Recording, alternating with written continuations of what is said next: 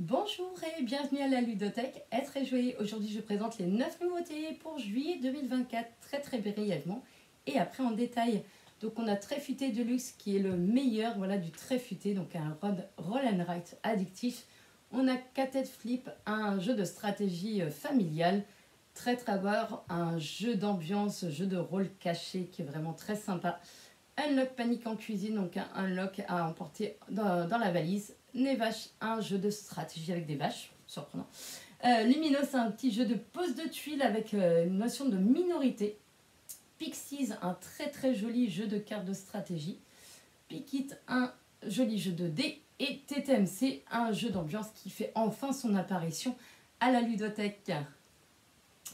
Donc on va commencer par Trabord, donc qui a été donné par euh, Savannah Games qui est un très très bon jeu de rôle. Si vous aimez par exemple euh, les loups-garous, euh, c'est un peu la même chose, sauf que là on va pouvoir jouer à moins, donc ce qui est beaucoup plus évident, donc ça joue jusqu'à 8 joueurs. Hop, on a chacun un rôle qui est distribué, qui est caché des autres, donc soit on est pirate, soit on est mutant. Le rôle des pirates, ça va être de remplir les coffres de pièces. Donc on va avoir des, des cartes par exemple avec une pièce, on va essayer de remplir le coffre avec des pièces. Le rôle des mutins, c'est de faire en sorte que le coffre ne se remplisse pas et surtout de pousser les autres à bord.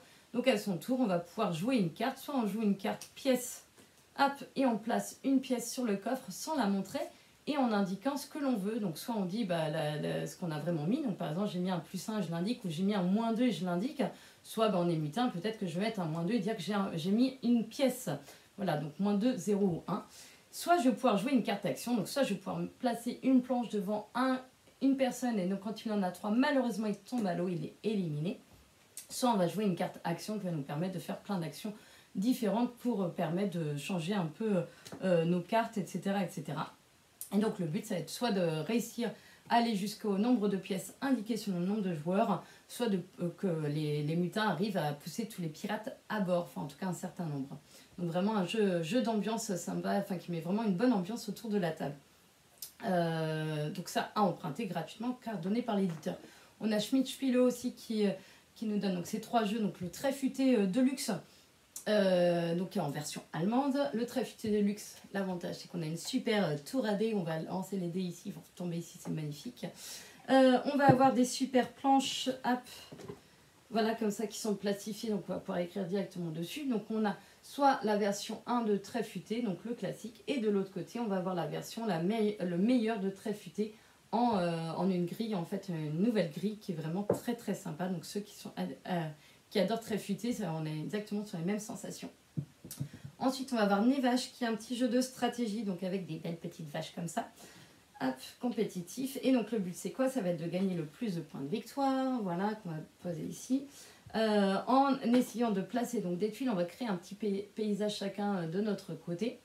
Le but ça va être de créer des paysages pour hop, remplir des objectifs. Donc on va, on va, euh, on va piocher des cartes objectifs et on va essayer de remplir les objectifs en faisant la même chose qu'indiqué sur les cartes que l'on a en main pour pouvoir euh, gagner les points de victoire. Euh, on va essayer aussi d'avoir des paysages identiques ou différents pour pouvoir planter un arbre qui nous fera gagner également des points de victoire en plus. On va également essayer de remplir un de nos deux objectifs cachés en début de partie parce qu'à la fin de la partie, on va pouvoir valider un des deux et gagner également des points de victoire en plus.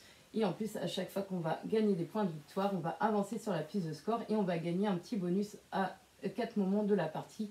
On va pouvoir récupérer des vaches parce que nos vaches, on va devoir en fait les poser quand on remplit euh, des, objectifs et il va falloir en fait pouvoir les récupérer aussi pour pouvoir remplir de nouveaux objectifs.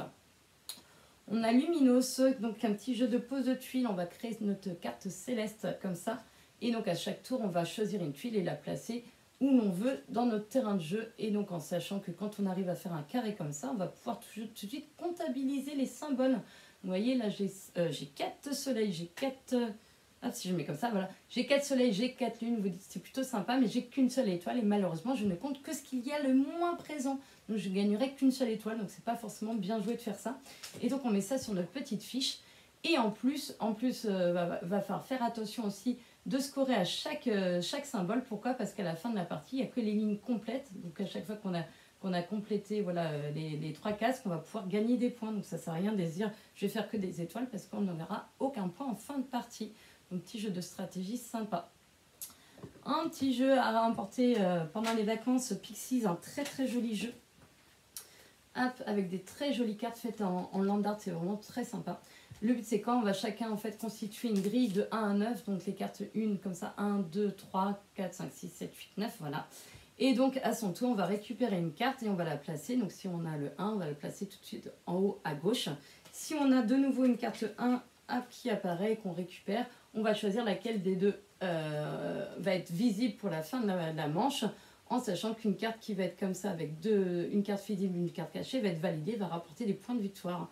On va aussi gagner en fin de, manche des petits points par rapport aux spirales qui sont présents, en perdre à cause des petites euh, croix là, en gagner aussi par rapport au nombre de cartes identiques, euh, enfin de même couleur qui se touchent. Enfin voilà, il y a plein de choses différentes et c'est vraiment très très sympa.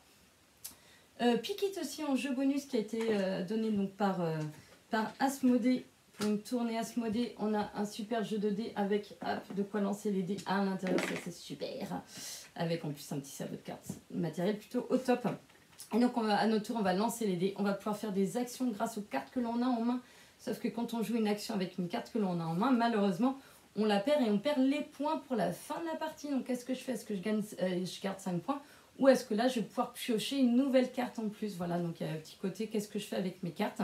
Et on va pouvoir aussi récupérer, hop, si on fait par exemple, si je fais 2-3, je vais pouvoir récupérer la super carte bonus. Hop, si j'avais, voilà. La carte comme ça qui me rapportera 15 points en fin de partie. Mais sauf que malheureusement, peut-être que quelqu'un va me la piquer, euh, notamment avec les cartes action.